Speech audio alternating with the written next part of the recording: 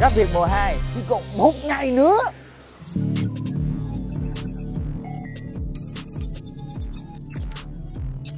Thật sự thì uh, khi Huawei uh, trước ngày quay Huawei đã có tới uh, tiệm hớt tóc. Cái người mà hớt cái đầu tóc này cho Huawei á, là một cái người uh, bạn cũng thân với Huawei Thì uh, Huawei mới có một cái ý tưởng về đầu tóc của mình mình mới nói cho bạn mình nghe để bạn mình cắt sau đó bạn của mình cắt cho mình đầu này. Bạn của mình mới nói là bây giờ cắt đầu này đi rồi hả? Tới gần cuối mùa bạn sẽ cắt cho mình một cái đầu khác.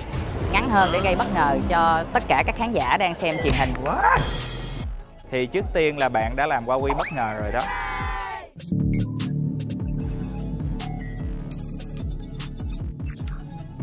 Kiểu tóc này của Quy gọi là kiểu tóc khá lắm. Khá lắm. Khá lắm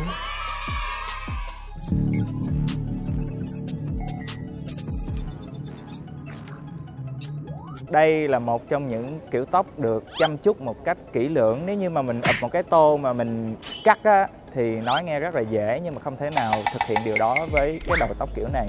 Mọi người cứ thử đi, lấy cái tô ụp lên rồi cắt coi có giống kiểu này không, chắc chắn là không.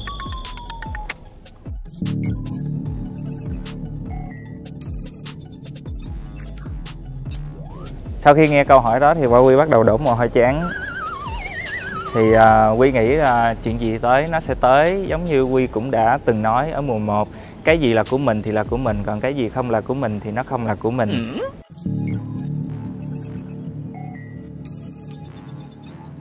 Ủa vậy hả? Ủa vậy hả? Ủa vậy hả? Thì uh, theo như mùa 1 Quy có nói cái gì của mình thì nó là của mình còn cái gì không là của mình thì nó cũng là của mình. Cho nên là mình hãy quý trọng tất cả những cái giây phút sắp tới cho dù nó là trong gai hay là cho dù nó là một cái sự liên minh mạnh mẽ nào nó ập tới đi nữa thì Quy vẫn tin những người đồng đội trong team của Huawei sẽ cùng vượt qua tất cả sóng gió bên kia và chúng ta cùng nhau đến những bờ bến là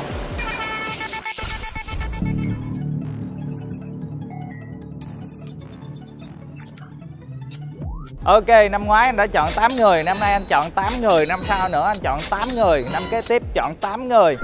Em đồng ý không? Số 8 là một cái số vĩnh cửu.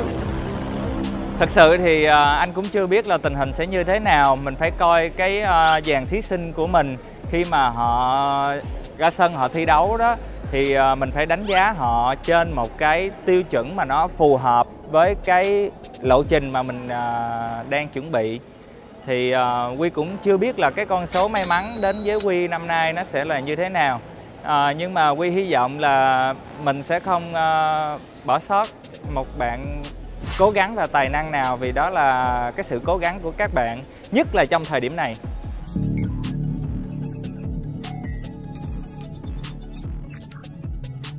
Theo Quy suy nghĩ khả năng đạp của Quy nó không nhanh không chậm mà nó vào đúng thời điểm và phù hợp đối với người về team Huawei. Đó là những gì Quy nói và những gì Quy khẳng định. Yeah.